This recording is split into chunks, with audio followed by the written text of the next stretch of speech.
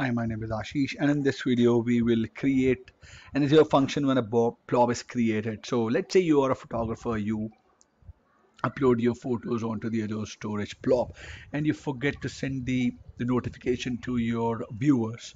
What you do, you set up uh, a Azure function which will set up a tweet for your account whenever you upload an image to your blob storage. So let's create an Azure function when a blob, execute an Azure function when a blob is created.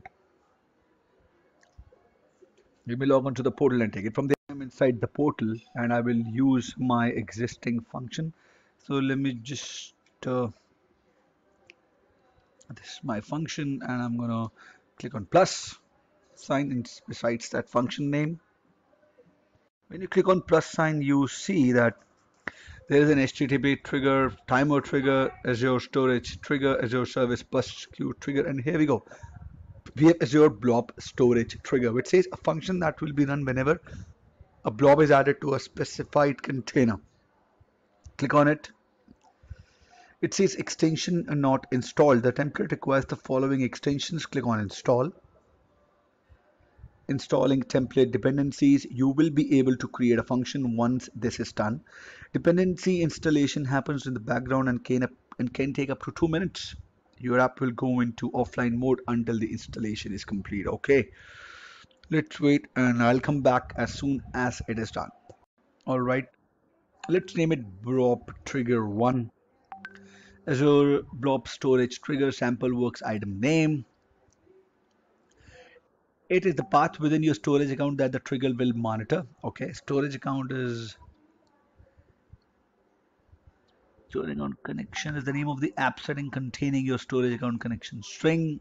Okay. You can do anything. Click on create. After that after installing that extension this these are the options that you will have to fill up. Now we have to create a blob container. So I am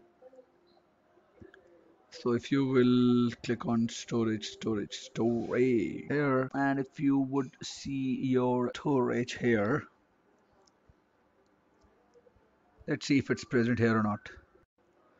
Under integration what you have to do is under integration you would have to check your Azure blob storage trigger. Blob parameter name is my blob. Path it is only uh, looking for this path and would only send trigger for this path in that storage account. Storage account connection it was uh, test function storage here and it made a new connection with the existing storage account that you have. So you click on save here. Okay that is good. Now we have to make a container with this name because it is looking for this thing. Come to my storage account that I'm using for it. I click on sample path. Work item private click on OK.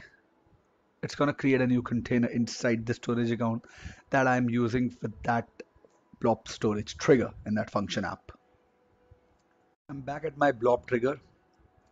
I'm going to check if there are any logs or not. Now I'm going to go to my this container blob. I'm going to upload an item so that logs are generated select a file. I'm going to click on upload uploading uploading uploading. I have an image here. I go back.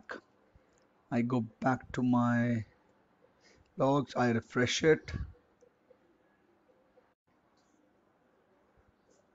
Let's see what logs do I get. Come on let's wait for some time.